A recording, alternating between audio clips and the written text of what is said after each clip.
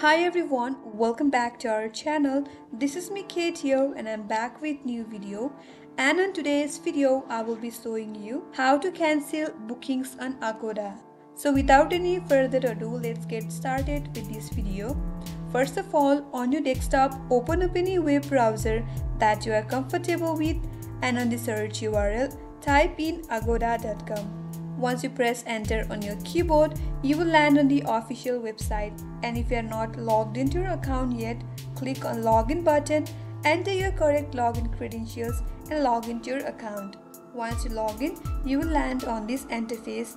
Now if you like to book a hotels or homes, simply enter the destination or property and enter the date as well.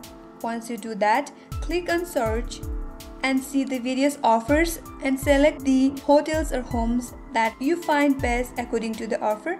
Head over to the upper right corner of this interface. There you will get your profile name. Click over there. A dialog box will pop up. From there, click on bookings. And on this page, you will see all your bookings that you have made. If you want to cancel your bookings, you will see the cancel option alongside with that booking. So click on cancel and your bookings will get cancelled.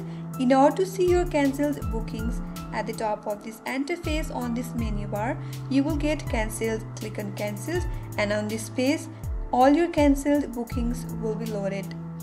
So that's how you can simply cancel bookings on Agoda.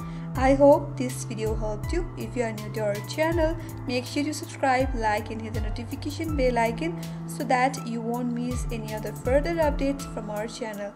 Thank you for watching till the end. I will see you on next video.